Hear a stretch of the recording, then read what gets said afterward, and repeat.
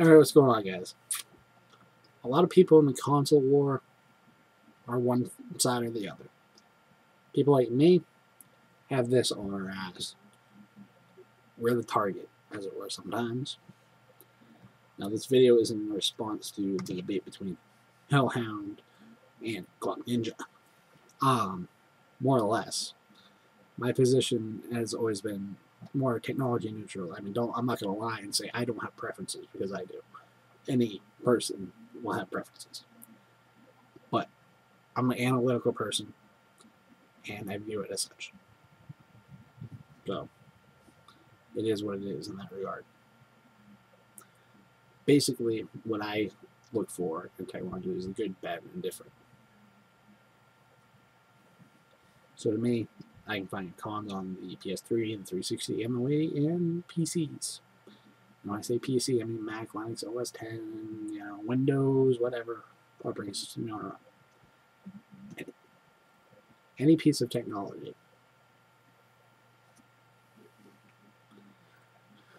What to me happens is when the debate is no longer factual, is when it becomes nothing more than a sporting event and, quite frankly, dumb. Now, I'm not saying the debate in and of itself is dumb. I have no problem with people doing feature comparisons, finding flaws in design, UI design, whatever.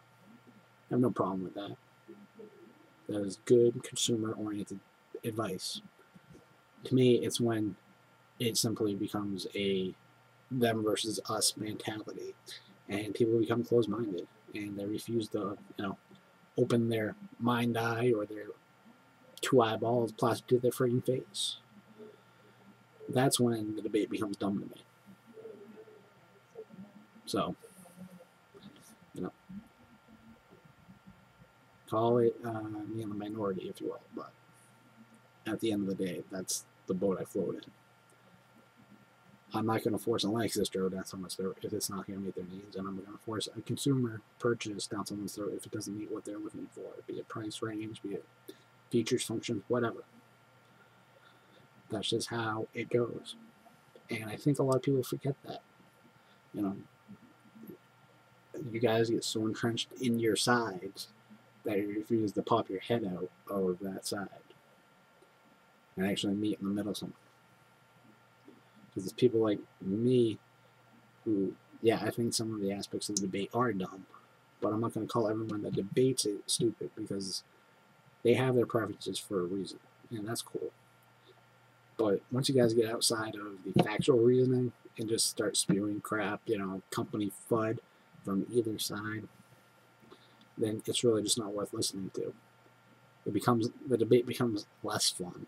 It becomes more annoying, and it makes the debate in a whole seem more childish to anyone that's observing outside of it. And that's why people say, you know, video games are stuff for the kids, as it were. And it's really not. But on the same note, um, the gamers are feeding into the bigger multimedia troll, you know, the network trolls. They're saying, you know, gamers, blah, blah, blah, they're idiots or whatever.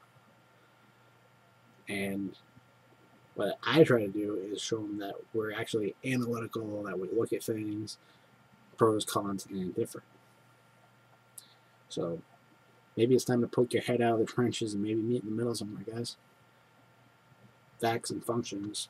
That's what it's all about to me. Once you get outside of that, it's not a debate anymore. It's just straight up FUD.